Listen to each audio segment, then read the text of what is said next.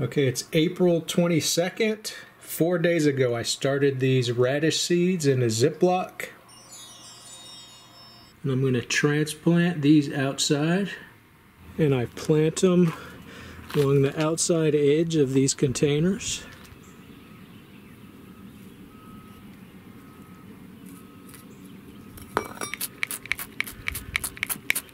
Gonna harvest some lettuce. I've got one of these bus boxes with just a whole bunch of holes drilled in it. It's like a giant colander.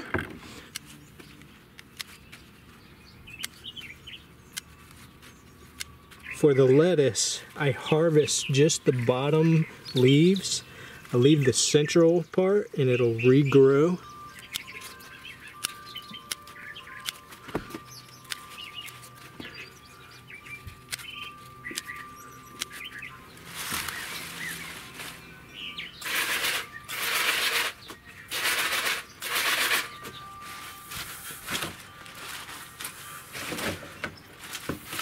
So I take my giant colander bus box, put it inside the bottom bus box.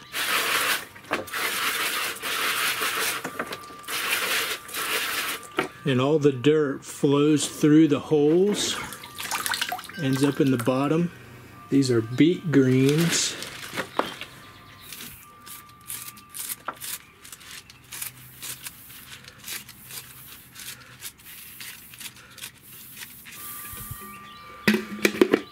This is a Zyliss salad spinner. It's got a little pull handle.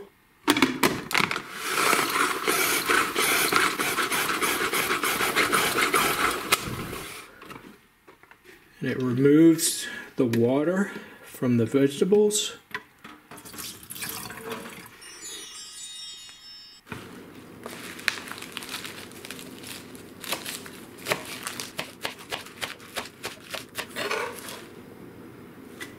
Then I take a basil leaf.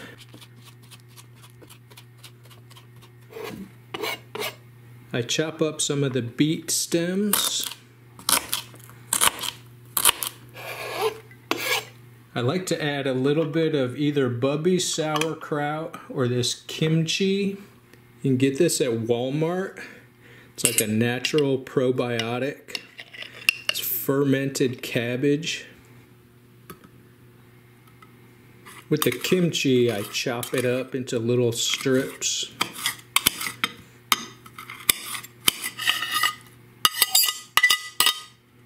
This is half a tablespoon of extra virgin olive oil. And then one tablespoon of apple cider vinegar.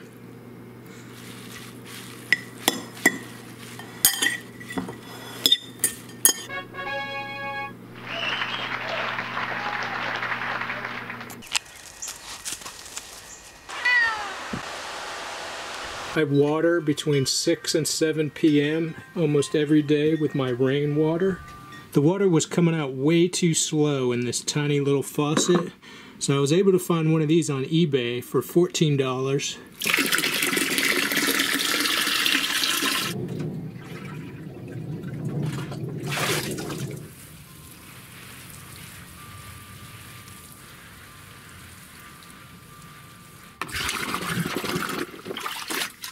I hand water and use about one or two of these per bed.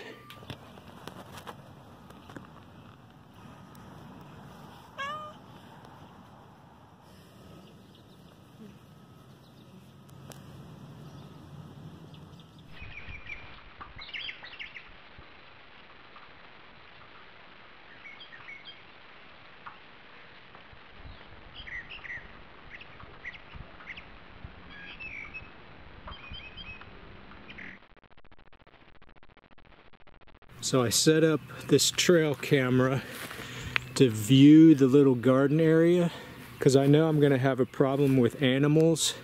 And I'm taking these tomato cages and it kind of makes a little barrier and it actually is effective. It stops the deer from walking in there. But there's a pretty good chance that they're going to just totally munch this up.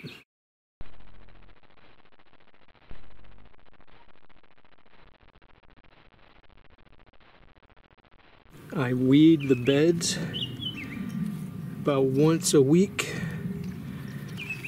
Takes about 20 minutes or so. This bed has a carpet of these weird weeds. So I use this garden tool and like scrape the weeds and it kills them all in one shot. Hello everybody, it's May 4th. Do the garden layout video. We've got Super Sugar Snap Peas, Early Wonder Tall Top Beets, red sail lettuce, black seeded Simpson lettuce, and this is like a checkerboard. It's got intertwined green and red lettuce. This lettuce is a hybrid from last year's seed that I saved. It's a cross between red sail and black seeded Simpson. It's got just a little twinge of red. And then here's another one that's a cross breed. This one has kind of rounded leaves. It's got a little more red to it. And then down here, got kale, collards, rattlesnake pole beans. These are cucumbers, alibi. This is the corn plants. I actually messed up. I should have planted peppers here and the corn here.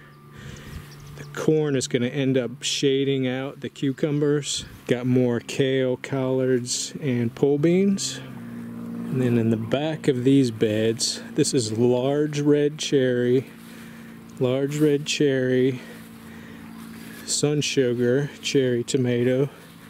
This is Cupid, grape tomatoes. And then this bed and this bed are the same. The middle row is giant Marconi pepper. Front row is California Wonder. California Wonder stays shorter, so the giant Marconi will still get sun. And then this bed is the sweet banana peppers, and I've got some radishes around the edge. Up here in the hex bed, got two beets in the front. This is a cayenne hot pepper, serrano hot pepper. This is sweet basil. Got two radishes. This is sun sugar cherry tomato. The cherry tomatoes are doing good so far. We haven't had much rain, and I think that has a lot to do with growing tomatoes. You want it nice and dry. If it rains a lot, you'll get blight. And then up here by the garage, we've got cayenne hot pepper, serrano hot pepper, and then these three are Roma tomatoes.